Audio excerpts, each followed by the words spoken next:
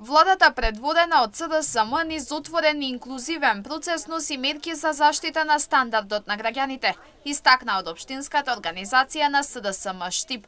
Од друга страна пак, според нив, Јорданов и локалната власт само носат одлуки на штета на штипјани, Дали по помош од владата јавното предпријатие ИСАР ќе ја намали цената на ѓубрарината, зошто Јорданов го кучеше законот за отпис на камати на долговите на јавните предпријатија и ќе се извинили Јорданов конечно на Штипјани, се дел од прашањата кои ги поставија на денешната пресконференција. Дали со помош на овие мерки ЈПИС реципрочно ќе им помогне на граѓаните и ќе ја намали цената на услугите?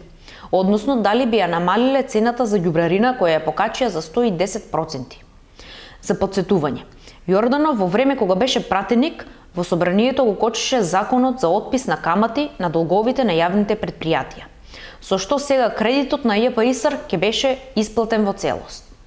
Јорданов, откако е градоначалник на Штип, досега само наоѓа изговори и ништо не превзема за да го заштити стандардот на штипјани.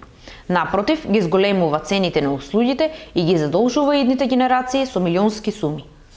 Јорданов е должен да се извини на Штипјани и конечно да почне да работи во нивни интерес, затоа што на градоначалничката фотелја е поставен токму од граѓаните.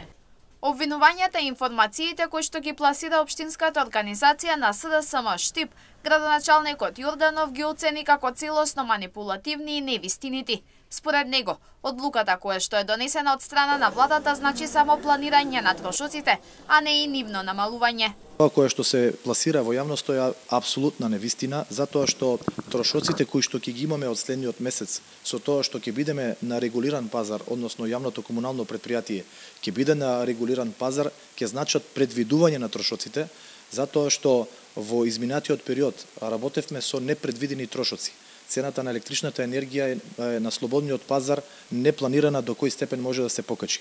Со ваквата одлука практично ќе имаме планирање на трошоците кои што компаративно со годините наназад ќе бидат повисоки неколку пати од електричната енергија од минатото, но барем ќе имаме можност да ги планираме истите тие трошоци, а во вкупен финансиски износ се а, дупло и неколку пати повисоки од трошоците кои што јавното комунално предпријатие ги имало во изминатите години. Јорданов подсети дека живееме во енергетска и финансиска криза која преку зголемени трошоци се рефлектира во сите институции. Дополнително овде и кредитот кој што го отплаќаат, а кој што како што вели Јорданов, никој до сега не го сервисирал.